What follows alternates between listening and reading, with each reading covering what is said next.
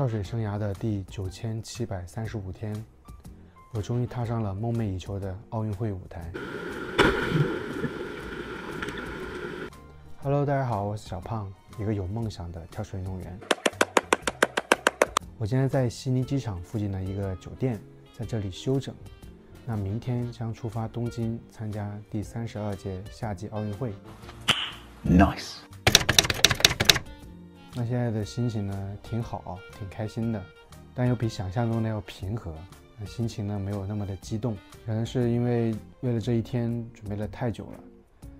那从我第一天进入跳水池练习跳水到现在，已经九千七百三十五天了，也是从一个毛头孩子，呃，到如今的油腻大叔，也是经历了很多吧，呃，才能比较平和的去面对，呃，这个比赛。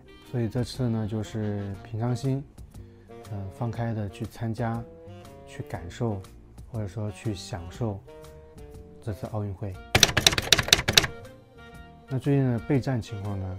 我自己认为，呃，整体来说是挺好的，呃，准备的很充分，然后也很有信心。那首先是因为最近的训练呢都比较系统，没有受到伤病的困扰。其次，我的动作质量在此期间也是有明显提升的，尤其体现在彩排轮变以及模拟比赛中。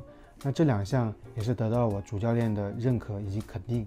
不过，期间遇到的挫折以及困难也是不少。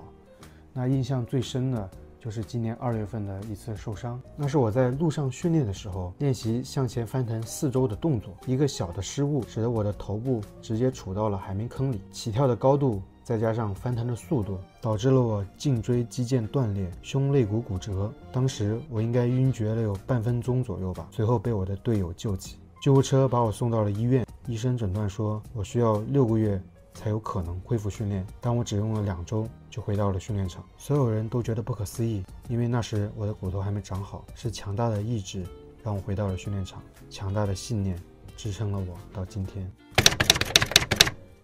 对于这次奥运会的目标，那肯定希望是站上最高领奖台。但我觉得首要做的事情就是调整好自己的心态。毕竟冠军谁都渴望得到，但是专注比赛。专注当下，才是最确切需要做的。赛场上的情况千变万化，随时有翻盘或被翻盘的可能，所以做好该做的，比想象来的更实际。嗯，为了与你相遇，我努力了快一万天。虽然时间有点长，但是好饭不怕晚。所以，东京奥运，祝我好运。以上就是今天的全部内容。